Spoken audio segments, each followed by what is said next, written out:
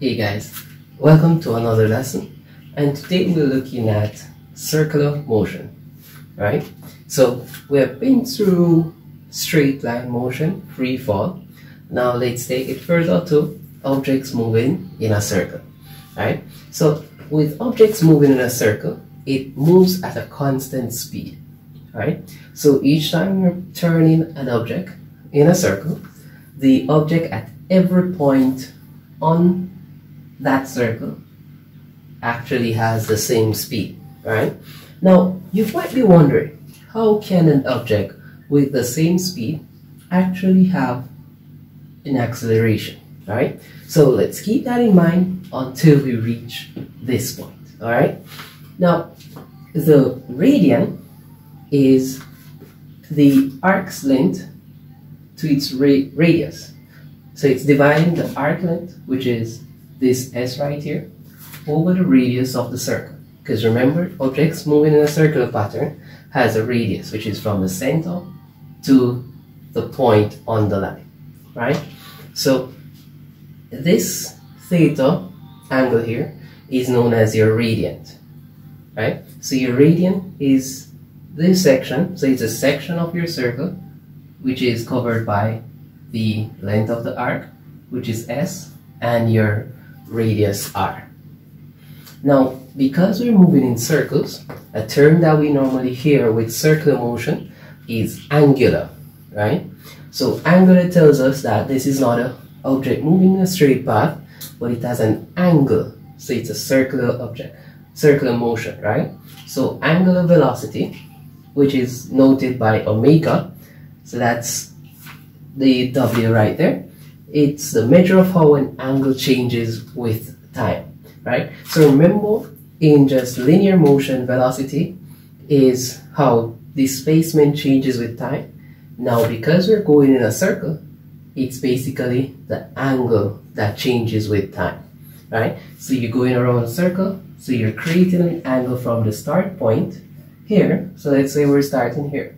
So at this point, it takes one second right? So it's this angle that is created from here to here, which is theta, over the time it takes, right? And then we move to centripetal acceleration. Now the word centripetal means center seeking, right? So this acceleration is seeking to go to the center of your circle, right? So therefore it's always perpendicular to the object's linear velocity, right? So let's look at those terms based on our diagram here, right? So in this case, this circular object is going in a clockwise motion, right? So the red arrows represent our linear velocity, right? So that's v. So linear velocity around the circle always acts tangential to, to that circle right? So drawing a tangent at any point on the circle, you get your linear velocity, right? Now, if we note the blue one here, it goes in the same path as the circle. And this one is called your, your angular velocity. Alright? So your angular velocity goes with the circle, while your linear velocity goes tangential to your circle, right? Now, since these values v, at any point on the circle, these v values would be the same value, right? Because it's moving constant speed. So your velocity is the same, right? But the direction is what makes it that we have an acceleration. Because remember, if objects are going down, it has a negative velocity. If it's going to the left, it has a negative. If it's going up, positive. If it's going right, uh, positive. Right? So because you have consistent change of direction when the object goes around, then that means you're creating acceleration of the object even if the magnitude of the velocity is the same. So because the direction changes, then we have an acceleration, right? So the equations that we normally use with centripetal or circular motion is delta, delta theta, and remember theta there is your radian, right? So your angle is your change in your s over r, which we just stated, right? And we have angular velocity, which is equal to your change in angle over change in time, which we already looked at. So now we have linear velocity. So this velocity here is equal to your radius times your angular velocity, right? Or t represents your period or your periodic time is 2 pi omega or t equals 1 over f and f there means your frequency right so therefore omega angular velocity is equal to 2 pi f frequency right now we have our acceleration the centripetal acceleration is v squared over r v squared v is your linear velocity or could be replaced with r omega squared right so these equations are very important when it comes to circular motion, right? Now, centripetal force. So because objects are moving in a circular manner, right, it experiences a force, it produces a force that always seek to go to the center of the circle. So remember, I said here that centripetal means center seeking. So this is a center seeking force, right? So the direction of that force always tend to want to go to the center in order to balance the object and keep it in a circular path. Right? So the purpose of the centripetal force is also is to ensure that we get a continuous circle being created. But we have a fictitious force, right? Which is known as a centrifugal force, which is opposite direction to your centripetal. So your centripetal goes towards the center, your centrifugal is going in the opposite direction, right? Now, this centripetal force, Fc, is calculated by mv squared over r, and remember v represents your linear velocity, or if you want to use angular velocity, is mr omega squared. But this part we normally use regular for centripetal force, right? Now, in centripetal force, or with circular motion, it either can go in a vertical plane, so like creating a circle like this, or we can create a circle in a horizontal plane, which is like this, right? So we're going to look at which we're focused on is our vertical circles, right? So circles that move in this manner, right? So just imagine you have a stone on a string and you're making circles with it like this, right?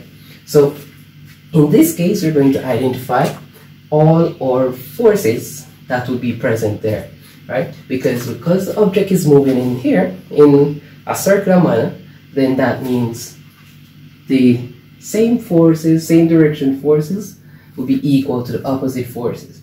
So when you add it, you get a zero. So the net force on each object at the point of the object at each point here would be zero, right? So let's go.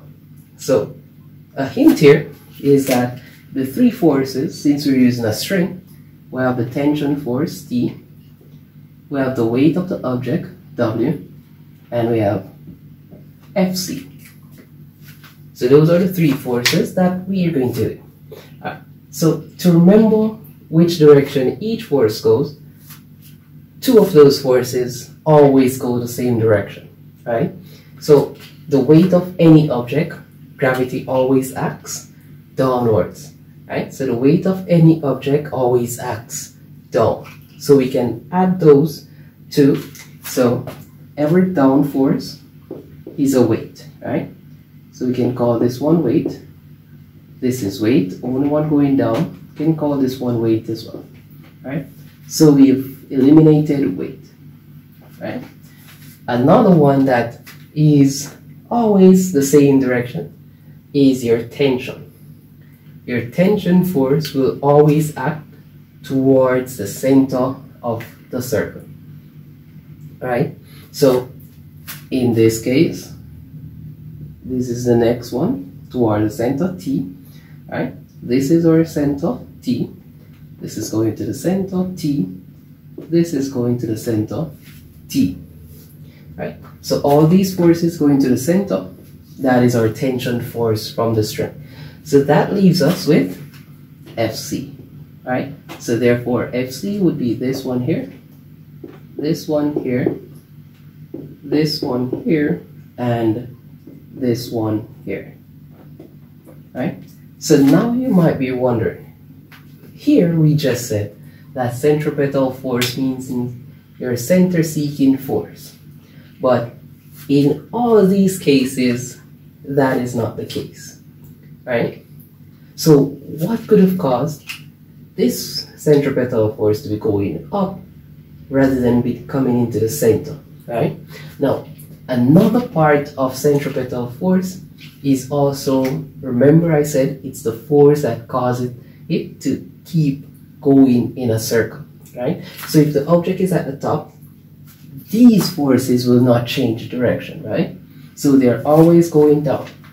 So in order for you to get the object when it's at the top to continue in a circular motion, the system actually creates a centripetal force to go out to keep it moving in a, in a circle, right? Same thing here, right? So by chance, right, if we have an inward force for it to continuously, so swinging some swinging an object, right? If there's an inward force coming into this object, we have to have an outward force, right? So because tension is going in, centripetal is going has to be going out to keep it in a circular motion.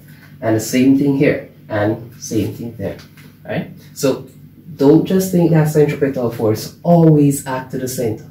It's that important force that causes the object to continuously move in a circular manner, all right? So that's it about circular motion, guys. And I hope you understand something today and see you guys next time.